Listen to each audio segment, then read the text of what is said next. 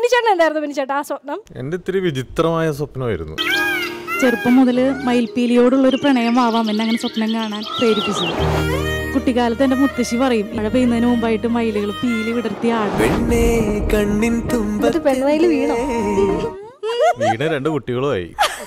സ്വപ്നങ്ങൾ എന്ന് പറയുന്നത് നമ്മുടെ കുട്ടിക്കാലങ്ങളിൽ മാത്രം ഒതുങ്ങി പോണ്ട ഒന്നല്ല. കൊച്ചുനാളിന് മുതൽ മനസ്സിൽ ഈ ഡോളിന്റെ ഒരു സങ്കല്പം. നമ്മുടെ സ്വപ്നങ്ങൾ എൻജോയ് ചെയ്തൊരു പ്രോസസ്സ് പോലെ ജീവിച്ചിരുന്നത് ഈ ചെറിയ ചെറിയ ഞാൻ ഈ ഡാൻസ് കാണുമ്പോൾ ഒരു മൈലിനെ കൂടി കണ്ടു. അവളുടെ ഇടയ്ക്കിലെ ഗ്രീഷ്മയെ എത്തി നോക്കുന്നു.